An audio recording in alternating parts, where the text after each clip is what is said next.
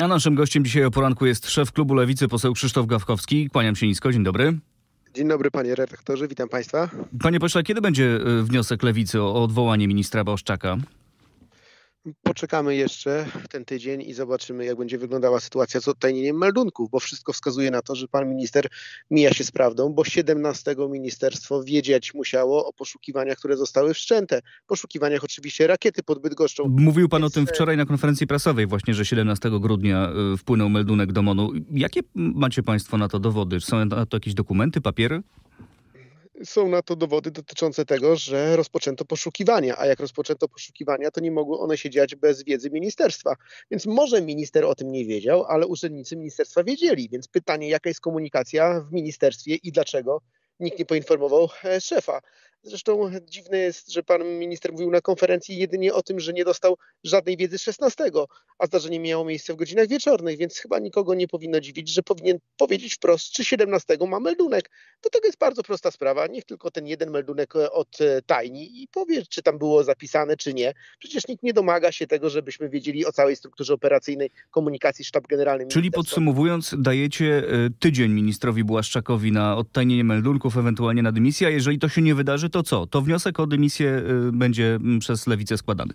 Będziemy całą opozycję namawiali do tego, żeby wspólnie złożyć e, wniosek o dymisję ministra Błaszczaka, bo nie daje się wytłumaczyć w żaden sposób, że szef armii, który kłóci się ze swoimi generałami, który donosi na swoich generałów, powinien być dalej ich szefem. Krzysztof Gawkowski y, cały czas jest moim i Państwa gościem na dalszą część naszej rozmowy. Zapraszam do radia internetowego RMF24. Panie pośle, e, w, to dzisiaj w mm, Radzie, dzisiaj w BBN ma odbyć się narada teoretycznie w sprawie e, szczytu NATO w Wilnie nadchodzącego, no ale ma być tam właśnie Mariusz Błaszczak, ma być tam generał Piotrowski, którego Mariusz Błaszczak oskarża o, e, o niedopełnienie tutaj obowiązków. Pan się spodziewa, że prezydent Andrzej Duda będzie starał się jakoś mediować w sporze między, między Błaszczakiem a generałem Piotrowskim? No myślę, że powinien. Przede wszystkim powinna odbyć się Rada Bezpieczeństwa Narodowego, na której spotkamy się z ministrem i z generałami, bo już się na takich spotykaliśmy i jeden drugiemu spojrzy w oczy i wszyscy sobie powiemy, jak jest. Bo na, na razie wygląda to tak. Kontrola, która była w ministerstwie, zakończyła się wnioskami o dymisję generała mm, Piotrowskiego. Następnie wyszedł na konferencję prasową pan minister Błaszczak, ale nie złożył wniosku o tą dymisję. Następnie były ćwiczenia na konda, na których był prezydent i dał swoiste wotum zaufania generałom, bo przecież się z nimi spotkał i fotografował.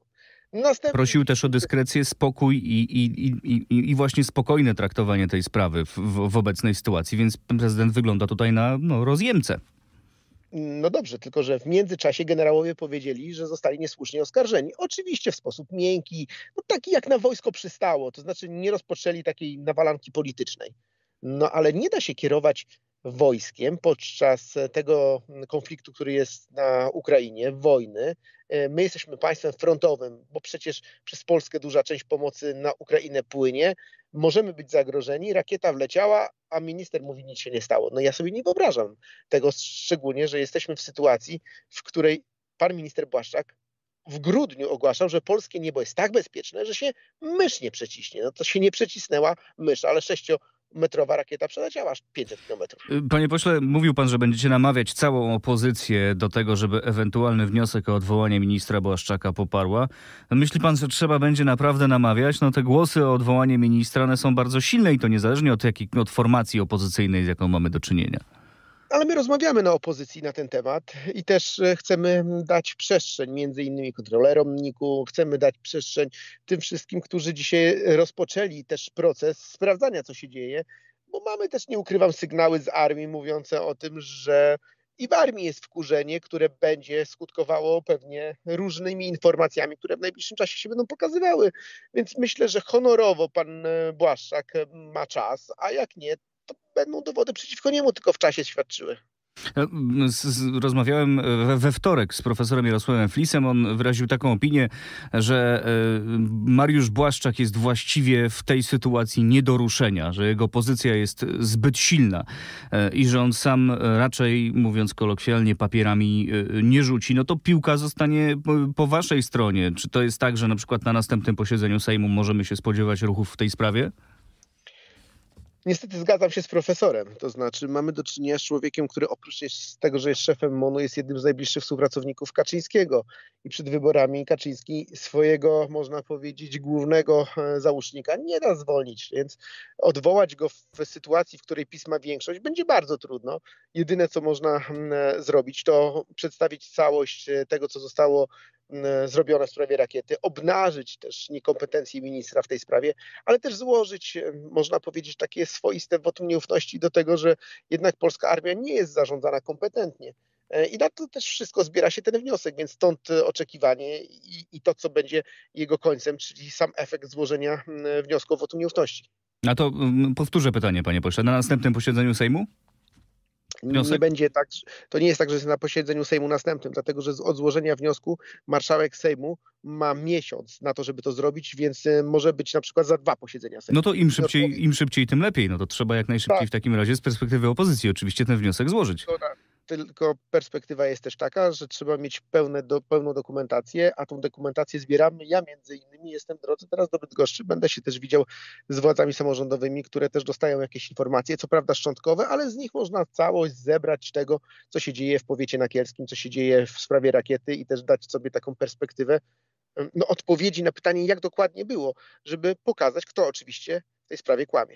Panie pośle, a może to jest tak, że te zasługi ministra e, Błaszczaka e, no, w pełni rekompensują jego przewinienia.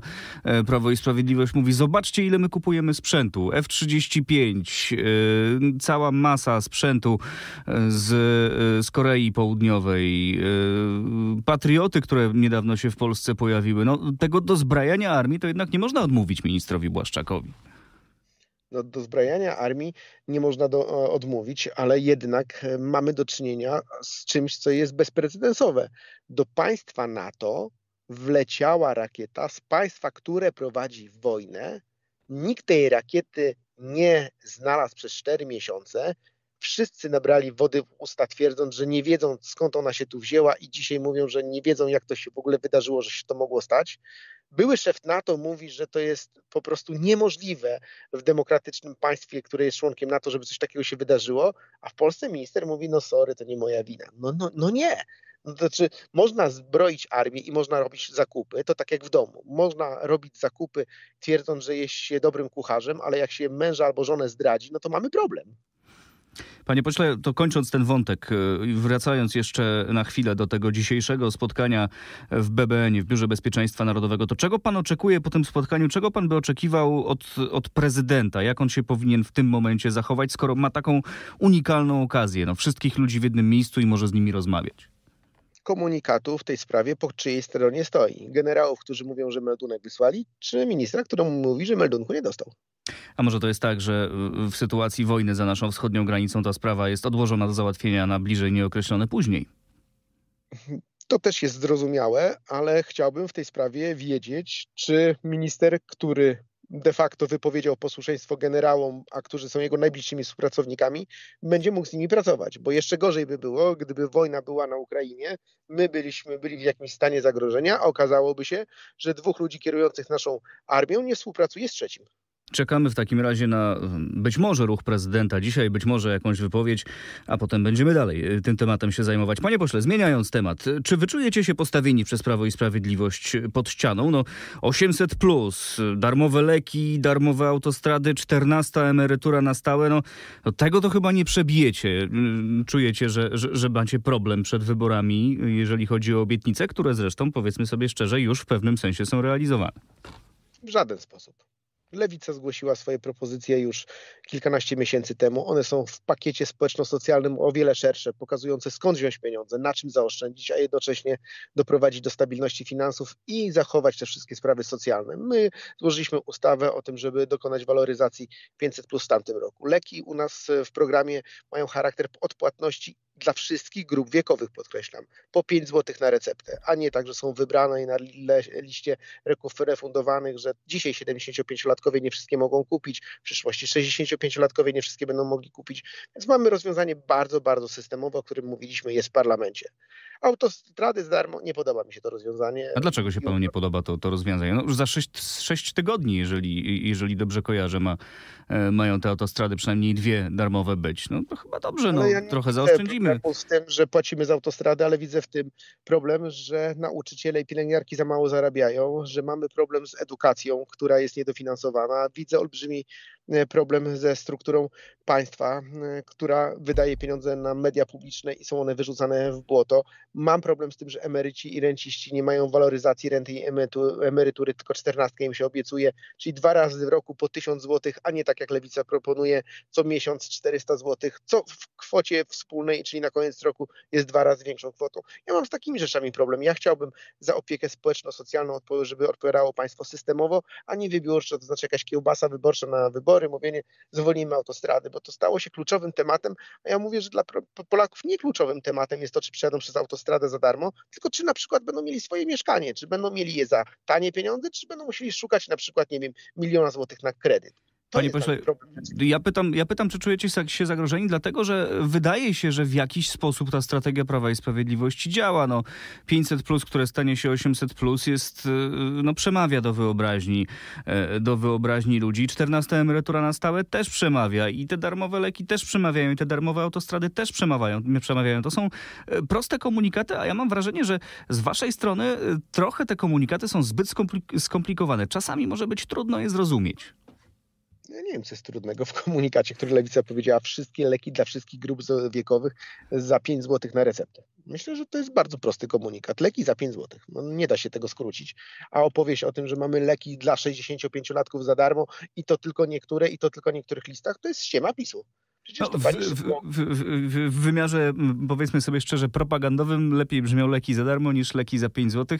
No ale oczywiście, ale, oczywiście ale zgodzę się, że to jest kwestia tego, jak uważnie posłuchamy każdego z tych, e, z tych leki komunikatów. Leki za 5 zł są dla wszystkich, a leki są, e, które PiS ogłasza w określonej kategorii dla, dla ludzi 65+. Plus. No, no, jest naprawdę olbrzymie znaczenie, bo dla mnie czy dla pana, dla pewnie części naszych słuchaczy, leki też są problemem, bo co roku, co miesiąc, co kwartał, czasami E, każdy je kupuje, więc naprawdę myślę, że nie są problemem. A PiS dokonuje bardzo wybiórczej oceny, to znaczy mówi, że będziemy coś wdrażali, damy na przykład czternastkę, czyli dwa razy do roku po tysiąc złotych, a my mówimy nie dajmy systemowo co miesiąc rozwiązanie do portfela seniora, niech wie ile ma pieniędzy, na co go stać, bo rachunki co miesiąc są te same, a tysiąc złotych nie jesteś w stanie sobie tak rozłożyć, żeby na 12 miesięcy razy dwa ci starczyło. No nie, no to jest po prostu inna bajka myślenia o państwie. I Prawo i Sprawiedliwość oczywiście spiarowo robi to sprytnie, ale ja nie jestem zagrożony mentalnie, że opozycja przez to będzie miała gorszy wynik, bo uważam, że ludzie dostrzegają, ile PiS złego też robi. To znaczy